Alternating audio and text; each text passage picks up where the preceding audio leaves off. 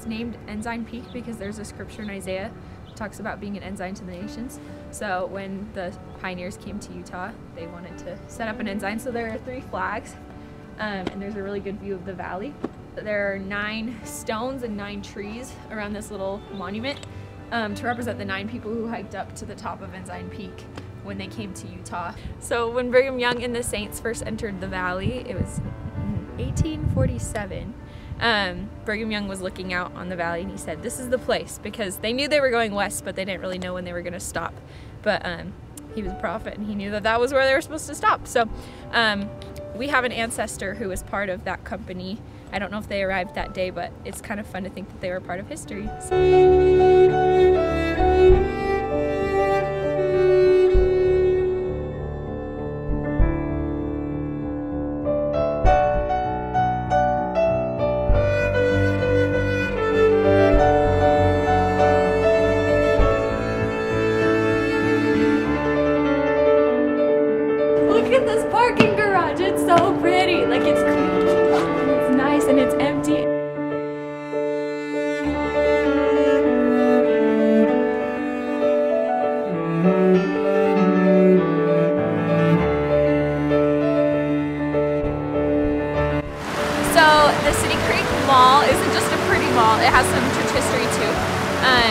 So the church wanted to develop the downtown area so it didn't get run down. And so they put a lot of money into creating businesses and places to live for people. Um, and it's pretty cool because in the Doctrine and Covenants, which is one of the books of scripture that um, Mormons believe in, it talks about um, some businesses that they established so that they could be organized as a church. And so there are roots in um, places that they lived before Utah.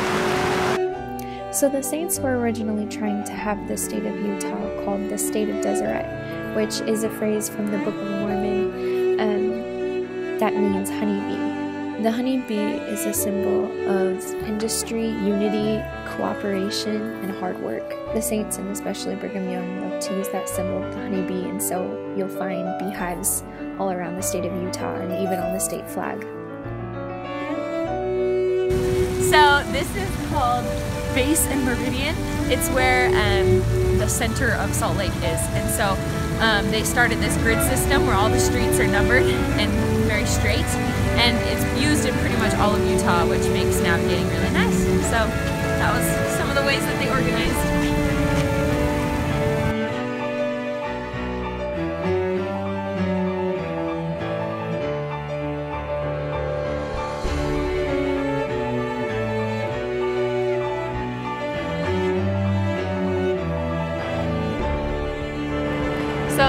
Statue is about the restoration of the priesthood.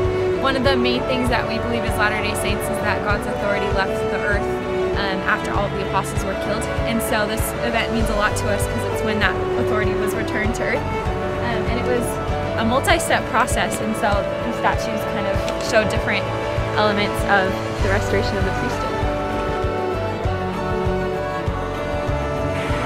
So this part talks about Joseph and Hyrum Smith, who were both siblings that played a big role in restoring the church. And we're siblings too! On the plaque I really like it says that in life they were not divided and in death they were not separated.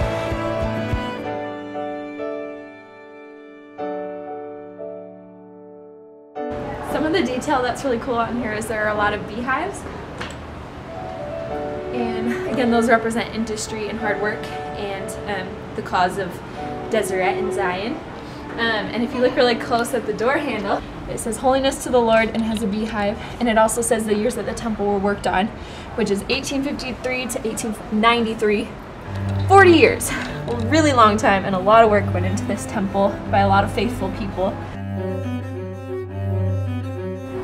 So temples mean a lot for members of our church. It's a place where um, we worship God and make sacred promises with Him.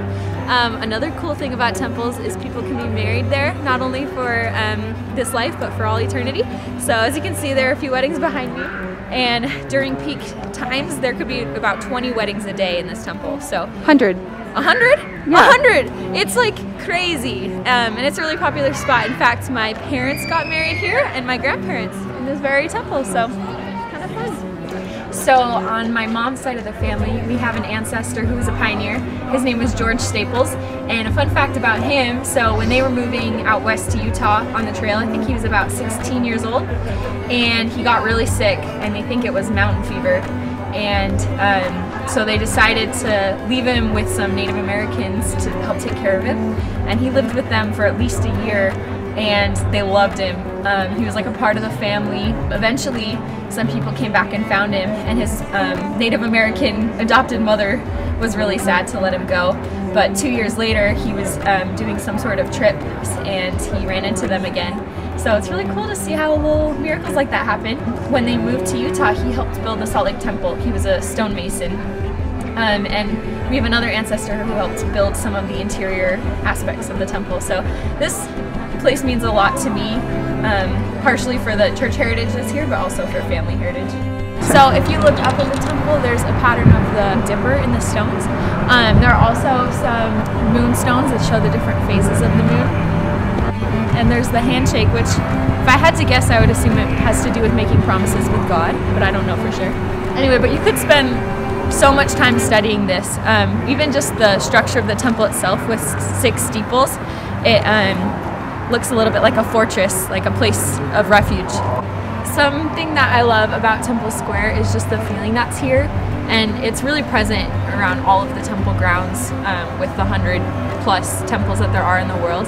Um, we have a temple back home in Minnesota that's really tiny, especially compared to the Salt Lake Temple, but it feels the same way when you walk around. You can feel um, really peaceful and close to God here. So that's what I love about the temple. It's just so special. Inscribed on the temple, it says, Holiness to the Lord, the house of the Lord.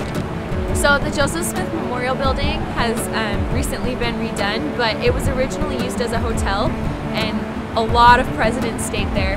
And part of the reason that it was built, um, Brigham Young wanted it built of like the finest materials, and some people would have wondered why they would have spent so much money on a nice building if that was really necessary. But um, in the Doctrine and Covenants, they were commanded to build a house in Nauvoo to help um, host people who came to visit. And so they felt that here in Utah it would also be a good idea to have something like that. And so now it's a nice landmark of the work that the saints accomplished.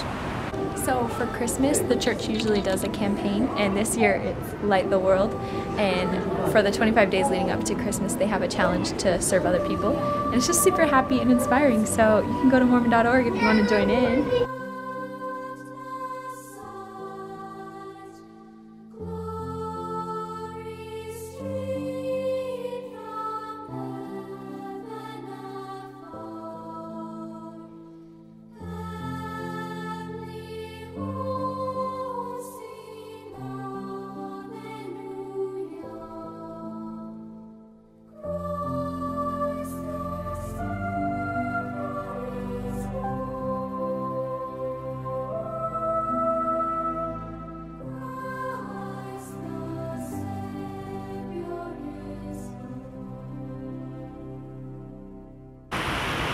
So this is the church office building. Um, it's really important to have because before a bunch of the church departments were spread out in different areas. So now they can all work in the same place and probably communicate more effectively. And um, it's really tall. So Joseph implied that when they were restoring the church, it wasn't complete until they had finished the Relief Society, which um, was an organization for women. And um, Emma, his wife, who was the president of the Relief Society, said that we are going to do extraordinary things. And since then, the Relief Society has um, provided aid to a lot of people in need um, and also just provided a good group for women to support each other. So this is the church administration building where the main leaders of the church work. Um, and it was made out of the same granite as the Salt Lake Temple. So we just stayed at the Lion House and we're stuffed. Um, the Lion House and the Beehive House were Brigham Young's homes, and um, they one reason they may have called it the Lion House is because Brigham Young was called the Lion of the Lord. It's pretty fierce. So, so in the Joseph Smith Memorial Building, they had pineapples, and we learned that it's a sign of hospitality, and so looks like they have it outside the Beehive House too.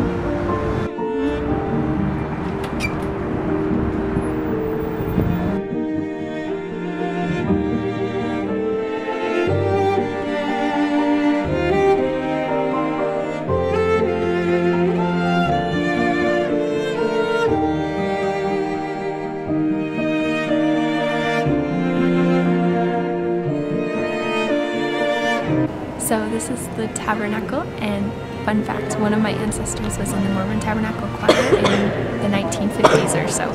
So I like to remember that that's part of my heritage. But this is where they practice and perform in music and the spoken word um, every Sunday of the year. So it's pretty cool.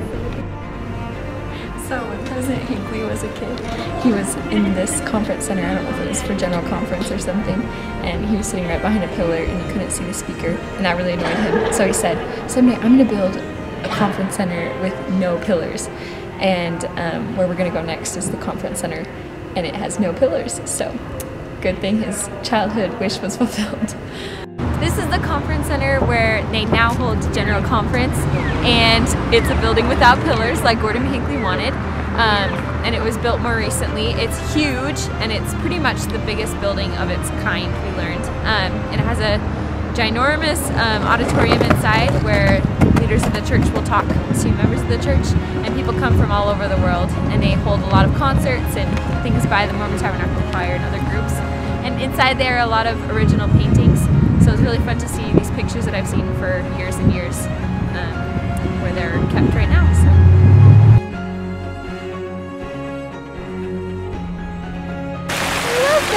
Says Seagull Monument erected in grateful remembrance of the mercy of God to the Mormon pioneers.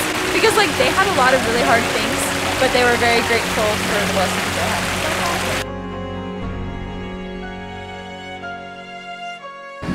So I think they said these are original wood seats. So this is made out of temple granite, apparently leftover temple granite. It's really pretty. So even though Brigham Young announced the temple and found the place for it to be built and said like, this is the place, um, he was never actually able to see it finished because it took so long to build. So another prophet, Wilford Woodruff, was the one who finished it and dedicated it. People like George Staples, who were stonemasons, would have used tools like this to help make the temple. So it's kind of cool to see it in action. Um, and it was a lot of work. They had to start and restart when complications came. So.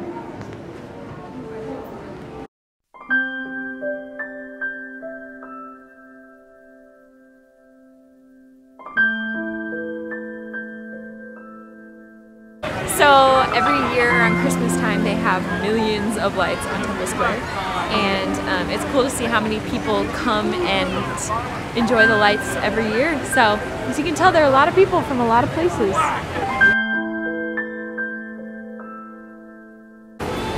Square has always been one of my favorite places to go, partially because it has so much connection to church history, and I've always loved church history a lot, and so it's really neat to stand in the place where the pioneers worked so hard to create this community, and I think one of the biggest testaments to me of the truthfulness of their work is how it's flourished up to this day, um, and like so much of my life has been affected by what they've done and um, what they've established here in Utah um, for both me and my family. And the gospel means a lot to me, and so I love being around the temple and remembering um, the truths that we've been taught about the prophets and apostles and all the things that have been restored to the earth. So it's all pretty miraculous, and so it was fun to spend the day learning more about it.